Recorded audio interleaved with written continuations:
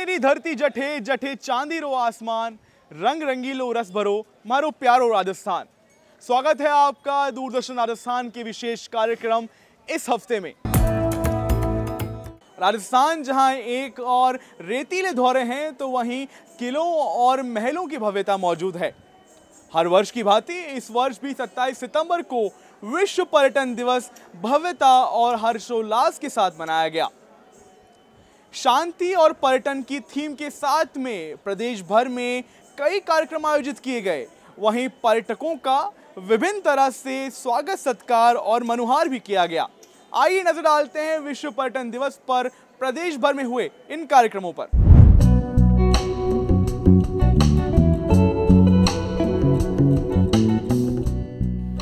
हर साल 27 सितंबर को विश्व पर्यटन दिवस मनाया जाता है। यह एक ऐसा दिन है जब दुनिया भर में पर्यटन उद्योग को बढ़ावा देने और इसके महत्व को समझने के लिए लोगों में जागरूकता फैलाई जाती है। इस दिन का उद्देश्य पर्यटन के सामाजिक, सांस्कृतिक और आर्थिक फायदों को बढ़ावा देना है। इस वर्ष विश्व पर्यटन दिवस की थीम टूरिज़्म एंड पीस है। यह थीम दुनिया भर में शांति को बनाए रखने पर ज़ोर देती है ताकि पर्यटन के रास्ते हर देश के लिए खुले रहें और इसे बढ़ावा मिले। पर्यटन दिवस पर्यटन को बढ़ावा देने के उद्देश्य से बनाया जाता है। जयपुर में आमतौर पर पर्यटक भारी संख्या के अंदर आते हैं और यहाँ जो हमारे प्रसिद्ध, जो पुरातत्व महत्व की चीज़ें हैं, जैसे कि आमेर महल जो विश्व विरासत सूची में शामिल है, जंतर मंतर जो विश्व विरासत सूची में शामिल है, हवा महल जिसे लगभग संसार में सभी जो है उसकी फ़ोटो को देख के पहचान लेते हैं। इसके अलावा नाहरगढ़ है, जयगढ़ है, सिटी पैलेस है, सिटी पैलेस भी एक संग्रहालय है। इन सबको देखने के लिए पर्यटक यहाँ आते हैं और यहाँ की सांस्कृतिक धरोहर के बारे में जानकारी प्राप्त करते हैं। इसके अलावा बाहर भी जो है हमारे किले, हवेलियाँ, कुंड, बावड़ियाँ, मंदिर ये सब चीज़ें जो है वो मौजूद हैं, जिनको पर्यटक देखकर बहुत आकर्षित होता है और बार बार देखना चाहता है। वर्ल्ड टूरिज़्म डे पर प्रदेश भर के सभी स्मारकों पर पर्यटकों का प्रवेश निशुल्क रखा गया है। विश्व पर्यटन दिवस के अवसर पर पर्यटन एवं पुरातत्व विभाग की ओर से कई कार्यक्रम आयोजित किए गए। पर्यटक स्थलों पर आने वाले सैलानियों का राजस्थानी ठाट बाट के साथ स्वागत किया गया। राजधानी जयपुर के आमेर महल, नाहरगढ़ फोर्ट, हवा महल, अल्बर्ट हॉल, जंतर मंतर पर कच्ची घोड़ी, नृत्य, शहनाई वादन, कालबेलिया नृत्य, रावण हत्था वादन समेत अनेक सांस्कृतिक कार्यक्रमों के साथ माला पहना, तिलक लगाकर सत्कार किया गया। जयपुर अभी बहुत अच्छा लगा है। हम आज ही सुबह यहाँ पर आए हैं। और काफ़ी हिस्ट्री में इसके बारे में सुना था, बहुत ऐतिहासिक स्थल यहाँ पर स्थित है। अल्बर्ट म्यूज़ियम है, आमेर फोर्ट है, जयगढ़ फोर्ट है, वैसे भी इसको किलो का शहर ही कहा जाता है। तो ये हमारी इच्छा थी कि हम अपनी हिस्टोरिक प्लेसेस को देखें एक्सप्लोर करें। राजस्थान का उदयपुर शहर पूरी दुनिया में अपनी खूबसूरती के लिए मशहूर है। हाल ही में ट्रेवल प्लस लीजर ने अमेरिका में वर्ल्ड बेस्ट अवार्ड घोषित किए हैं। इनमें उदयपुर को पूरी दुनिया में सबसे सर्वश्रेष्ठ शहरों की रैंकिंग में दूसरा स्थान दिया है। वहीं एशिया में उदयपुर नंबर वन रैंकिंग पर है। अंतर्राष्ट्रीय स्तर पर अपनी खूबसूरती के लिए अलग ही तरह की ख्याति प्राप्त कर चुके उदयपुर को लोग झीलों की नगरी, पूर्व का वेनिस राजस्थान का कश्मीर, ऐसे अनेक नामों से पुकारते हैं। हाल ही में ट्रेवल एंड लेजर ने उदयपुर को second most beautiful city of the world घोषित किया है। तो यह जो घोषणा हुई है, ये उदयपुर की खूबसूरती को दर्शाती है, हर तरह की खूबसूरती। चाहे वो हेरिटेज की हो, चाहे लेक्स की हो, चाहे लैंडस्केप्स की हो, चाहे वो यहाँ के लोगों की हो। तो हर तरह से हमारी हॉस्पिटैलिटी बहुत अच्छी रही है, इसलिए उदयपुर को यह खिताब मिला है। लेकिन ये खिताब सिर्फ़ यहीं तक नहीं रुका उदयपुर ने हर पोर्टल पे अपनी जीत दर्ज की है, चाहे वो अमेरिकन एक्सप्रेस पोर्टल हो, चाहे वो एक वेडिंग डेस्टिनेशन की पोर्टल हो, हर जगह उदयपुर का नाम टॉप फाइव में ज़रूर आता है। और यही कारण है कि जो विश्व में टूरिस्ट हैं, जब भी कोई आर्टिनरी बनाते हैं तो उसमें अपने उदयपुर को ज़रूर शामिल करते हैं।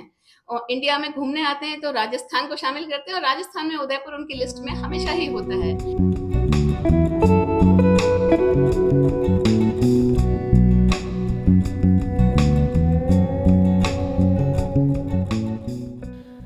ऐतिहासिक विरासत की आभा बिखेरते उदयपुर में कल कल बहती झीलें, प्रकृति की सौंदर्यता और अपनी रजवाड़ी शान पर इतराते महल झरोखे इसकी सुंदरता को चार चाँद लगाते हैं। इसी वजह से देसी विदेशी पर्यटक खिंचे चले आते हैं। पर्यटन विभाग के आंकड़ों के अनुसार इस साल अगस्त तक कुल ग्यारह दशमलव चार शून्य लाख पर्यटक आए, जबकि 2023 में पूरे साल उन्नीस दशमलव नौ शून्य लाख और 2022 में पंद्रह दशमलव दो चार लाख पर्यटक आए। इस साल मानसून और छुट्टियों में भी पर्यटकों की भरमार देखने को मिली। हमने काफ़ी सुना था राजस्थान, जयपुर, उदयपुर के बारे में तो जयपुर तो हम पहले ऑलरेडी विज़िट कर चुके थे और उदयपुर हम कल ही आए हैं। यहाँ पर आकर काफ़ी अच्छा लगा हमें। तो जिस तरह से ये हेरिटेज कल्चर इतने सालों से संभाला हुआ है और उसको आगे कंटिन्यू कर रहे हैं तो पुरानी चीज़ें देखकर हमें काफ़ी अच्छा लगा यहाँ पर। और सिटी ऑफ़ लेक्स है तो कल से ही हम आए हैं तो वेदर भी बहुत अच्छा मिल रहा है बारिश हो रही है। बट जिस तरह से यहाँ से के लोगों ने कल्चर को संभाल के रखा हुआ है तो वो बहुत ही अच्छी चीज़ लगी। On vient d'arriver hein, ce matin, donc on ne connaît pas grand-chose, mais euh, ça a été, euh, bon, on découvre les merveilles. On pense que c'est la Venise asiatique, hein.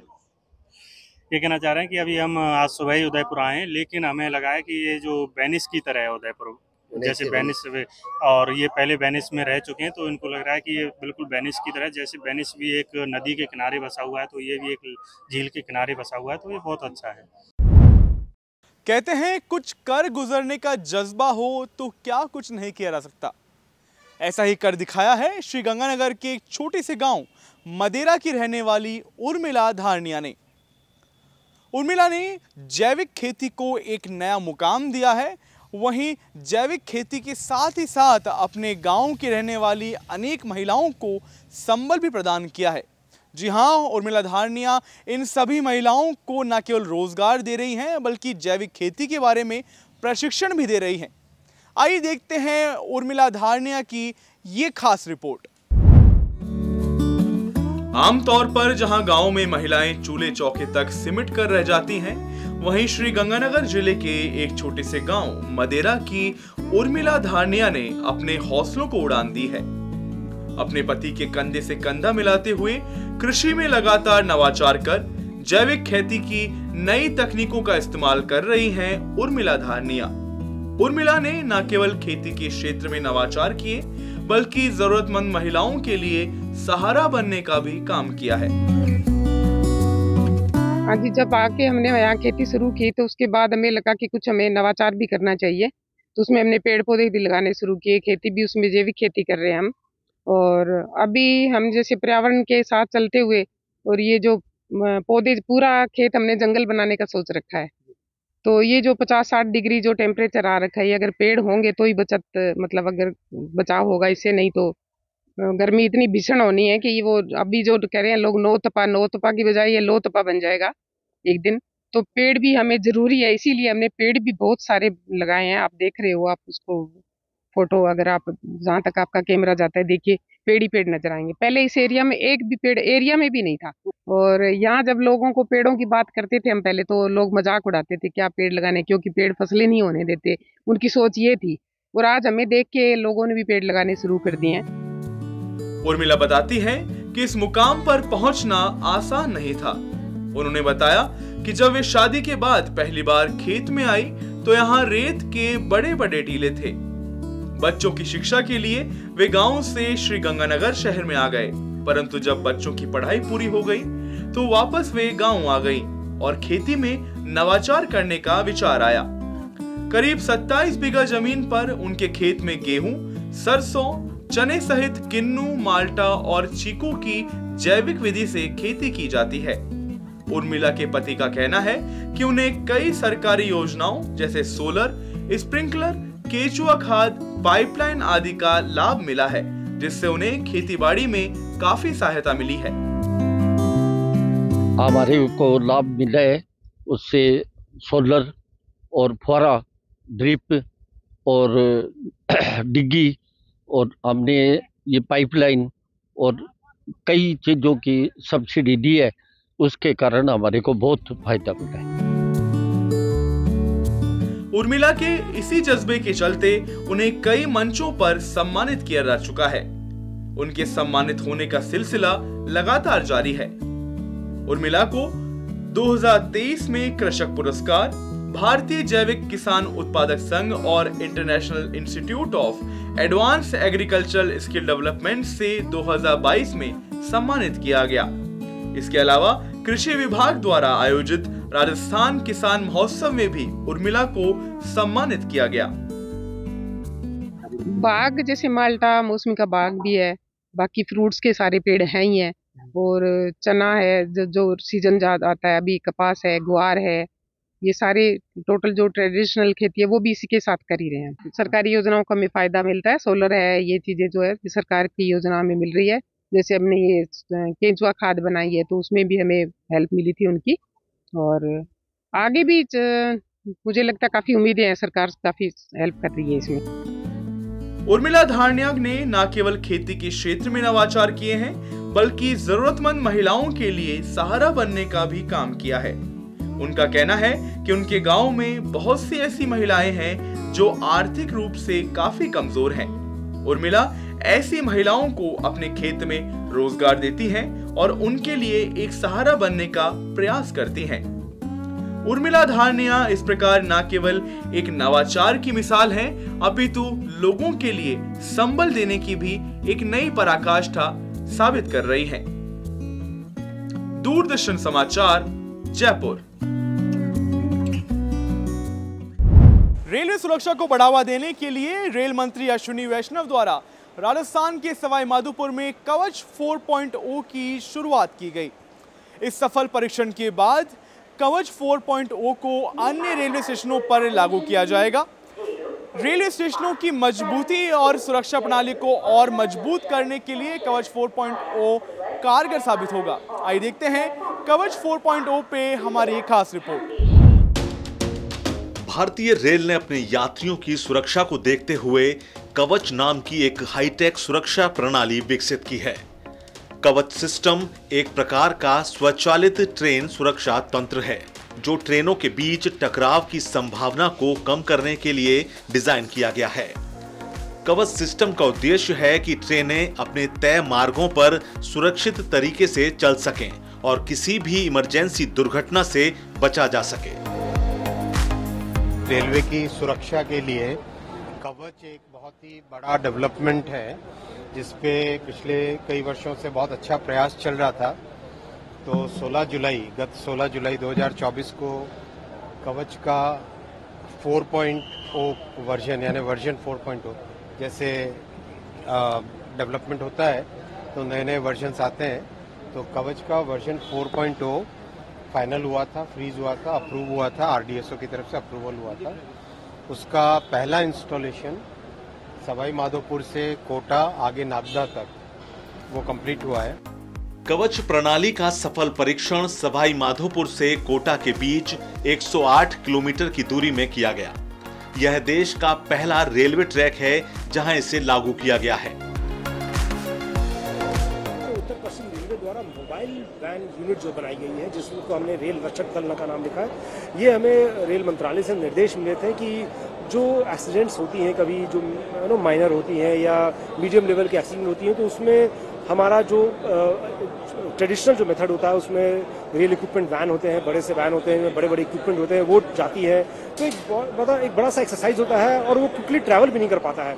बहुत सारी location ऐसी होती हैं जहाँ पे उन लोग उन इक्विपमेंट को ले जाना एक्सेसिबल भी नहीं होता है ट्रैक के माध्यम से। तो इसको ध्यान में रखते हुए ये हमने पहली बार भारतीय रेलवे में मोबाइल यूनिट रेल रक्षा दल के नाम से लॉन्च की है पूरे उत्तर पश्चिम रेलवे के चार जगहों पे हमने स्ट्रैटेजिकली इनको लोकेट किया है सो दैट कहीं भी उत्तर पश्चिम रेलवे के क्षेत्राधिकार में अगर कोई घटना हो तो वहाँ पर ये मोबाइल यूनिट पहुँच सकती है। हमारे रेलवे प्रोटेक्शन फोर्स और यांत्रिक विभाग के जो टीम होती है, उनमें छः लोगों की एक टीम बनाई गई है। उनको हमने ट्रेन किया है। जो कॉन्सेप्ट है किसी भी एक्सीडेंट में, वो होता है गोल्डन आवर का, कि एक घंटे के अंदर जो है, हम कितना रेस्क्यू का काम कर सकते हैं। अगर कोई, मान लीजिए पैसेंजर ट्रेन का इस तरह कोई दुर्घटना होती है तो एक घंटे के अंदर फ़र्स्ट जो बना होता है, वो बहुत क्रिटिकल होता है, अगर हम पैसेंजर्स को उसमें कोई रेस्क्यू या रिलीफ पहुँचा सकें।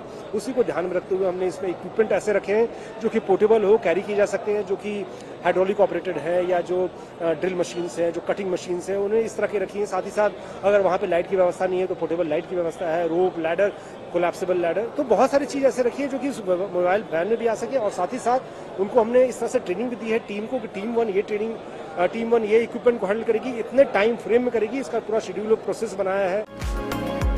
रेलवे ने कवच 4.0 के तहत एक ऐसा स्वचालित सिस्टम तैयार किया है, जिसमें ट्रेन की निर्धारित स्पीड से दो किलोमीटर प्रति घंटा से अधिक की स्पीड होने पर कवच ओवर स्पीड अलार्म बजाएगा।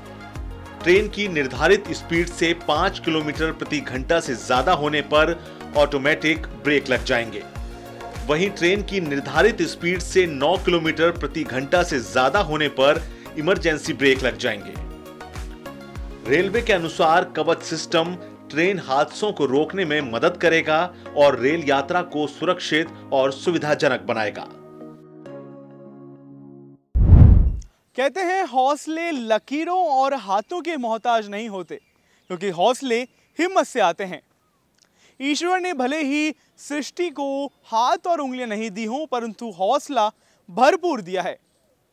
हम बात कर रहे हैं अजमेर की सृष्टि अरोड़ा की। 28 वर्षीय सृष्टि न केवल पैरालंपिक हैं, बल्कि युवाओं के लिए एक हौसले की मिसाल भी हैं। आइए देखते हैं सृष्टि अरोड़ा की ये प्रेरक कहानी। आत्मविश्वास की नई परिभाषा बनकर सामने आई है अजमेर की 28 वर्षीय शूटर सृष्टि अरोड़ा। सृष्टि एक ऐसी शूटर है, जिनके ना सीधा हाथ है, ना हथेली है। वहीं उंगलियाँ भी पूरी नहीं है। मेडिकल डिपार्टमेंट द्वारा सृष्टि को 90 प्रतिशत डिसेबल घोषित किया गया है। लेकिन सृष्टि ने अपने हौसले से हर मुश्किल को अपने कदमों में झुका दिया है। वे तेज गति से लैपटॉप भी चलाती हैं तो पिस्टल से शूटिंग भी करती हैं। मेहंदी लगाने का हुनर रखने वाली सृष्टि डिज़ाइनिंग और एडवर्टाइजिंग कंपनी में काम भी करती हैं। और मैंने रिसेंटली अभी सिलेक्शन ट्रायल हुआ था पैरालंपिक सिलेक्शन ट्रायल टू और थ्री उसमें मैंने फ़र्स्ट रैंक आया था। और उसके अलावा मैंने नेशनल में टीम इवेंट में ब्रॉन्ज मेडल जीता है ten metre air pistol shooting में women S H one category में। और मैं शूटिंग में पिछले डेढ़ साल से हूँ। मेरे मम्मी पापा ने मुझे हमेशा से बचपन से काफ़ी सपोर्ट किया है और काफ़ी मोटिवेट किया है कि ये चीज़ कभी बीच में नहीं आनी चाहिए। डांस में और इसके अलावा मैंने मेहंदी में डिप्लोमा किया है कंप्यूटर्स में किया है। जिसटी पिछले एक साल से हमारे यहाँ पे प्रैक्टिस कर रही है बच्चों को बहुत कुछ सीखने को मिलता है। ये अपना काम सेल्फ करती है, किसी की हेल्प नहीं लेती। और बाकी बच्चों को भी इसको सीखने, बहुत कुछ सीखने को मिलता है। हम पेरेंट्स इसके बहुत सपोर्ट कर रहे हैं, हम भी इसको सपोर्ट करते हैं। और बाकी ये बहुत मेहनती लड़की है, अच्छी प्रैक्टिस करती है, दो टाइम प्रैक्टिस करने आती है सुबह और शाम। वैसे हमारा एक ही बेच स्टार्ट है, लेकिन हमने इसको अलाउ कर रखा है दोनों टाइम तो ये सुबह शाम दो दो घंटे प्रैक्टिस करती है। सृष्टि के माता पिता ने उन्हें शुरू से ही डिसेबल नहीं, बल्कि डिफरेंट एबल बनना सिखाया है। सृष्टि कहती है कि माँ ही उनकी सबसे बड़ी शिक्षक है। उनके पिता शैलेंद्र अरोड़ा उनके लिए अच्छे कोच खोजने का काम करते हैं। तो वहीं माँ किरण उनके लिए यूट्यूब पर नए नए रोचक तरीके और तकनीकों को ढूँढने का काम करती हैं। और मेरे मम्मी पापा का हमेशा से मुझे सपोर्ट रहा है और मोटिवेशन रहा है कि आगे से आगे मुझे करते रहना है, कभी रुकना नहीं है ये सोचकर कि ये डिसेबिलिटी है। पर इसे डिफरेंटली एबल समझकर आगे बढ़ते जाना है। अभी 2022 में हम लोग मथुरा गए थे, वहाँ पे कोई मिले थे, किशन गुजर करके। उन्होंने बोला कि ये, इससे पूछा कि भाई अब कौन सी क्लास में हो?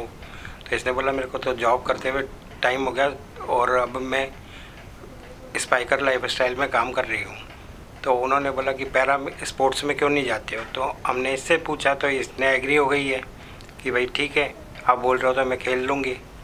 फिर हमने कहा, गेम देख ले तेरा, कौन सा खेल सकती है, क्या है? तो फिर इसने शूटिंग डिसाइड किया।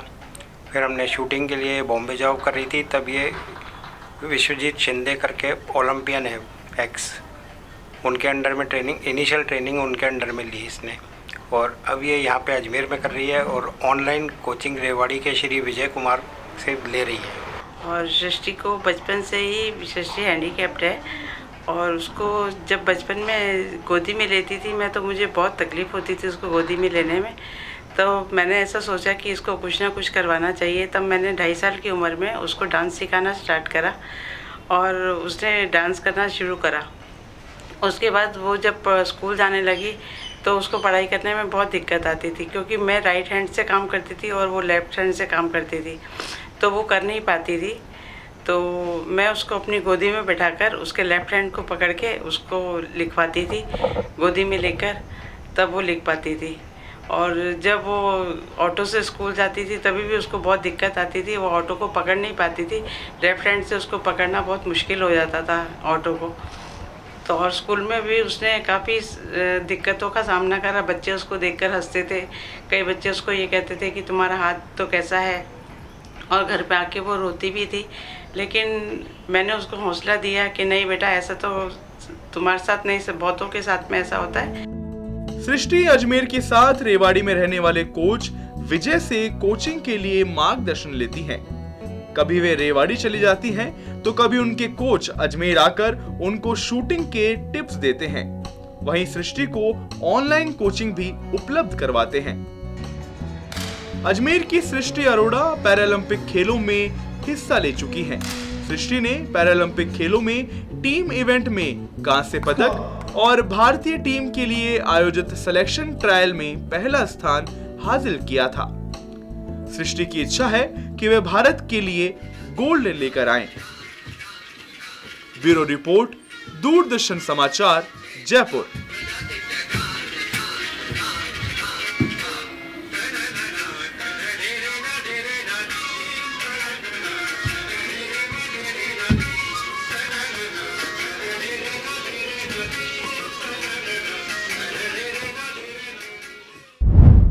शायद ही कोई होगा जो सुप्रसिद्ध गायक मुकेश के गीतों से अनभिज्ञ होगा।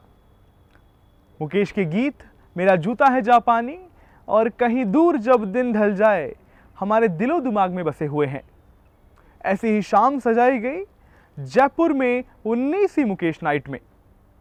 कायस समाज सेवा संस्थान द्वारा मुकेश की पुण्यतिथि पर उनको श्रद्धा सुमन स्वरूप में संगीतों की ये शाम सजाई गई, जिसमें कलाकारों द्वारा मुकेश के गीतों की प्रस्तुति दी गई।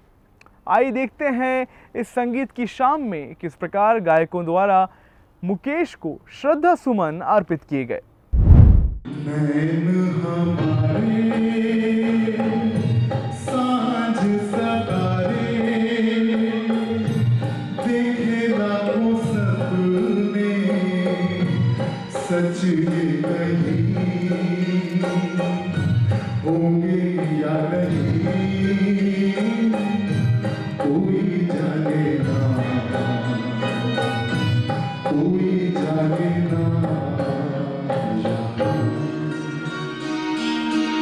नैन हमारे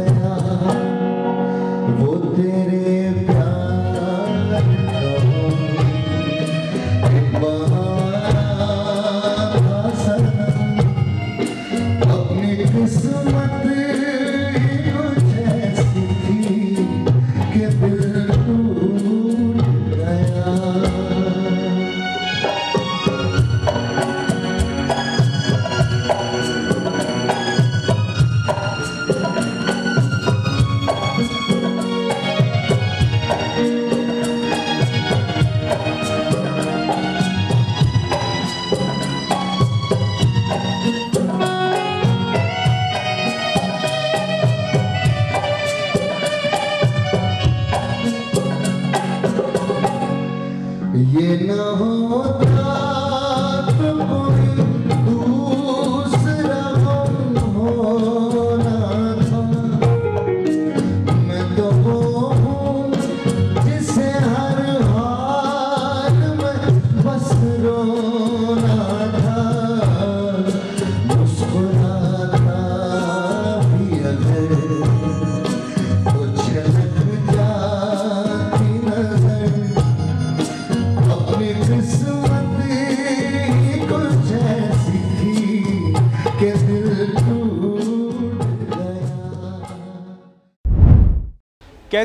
किताबें समाज और आम जीवन का प्रतिबिंब होती हैं। ऐसी ही किताब है, कांसे का सूरज, सोने का चाँद। नसीम नकवी द्वारा लिखी गई ये किताब आम जीवन की सच्चाई को दर्शाती है। नसीम नकवी जाने माने लेखक हैं, जो हिंदी, अंग्रेज़ी के साथ उर्दू पे समान अधिकार रखते हैं। देश के शीर्ष नेतृत्व के अनेक अनेक विदेश दौरों में नसीम नकवी प्रतिनिधिमंडल में शामिल रहे और अपने अनुभवों को नसीम नकवी द्वारा इस किताब में साझा किया गया है। नसीम नकवी द्वारा कांसे का सूरज, सोने का चाँद, रुस्तम, मिन्नू मियाँ, आखिरी कहानी तो का आदि शीर्षक के साथ में अपनी कहानियों को इस किताब के रूप में पिरोया गया है।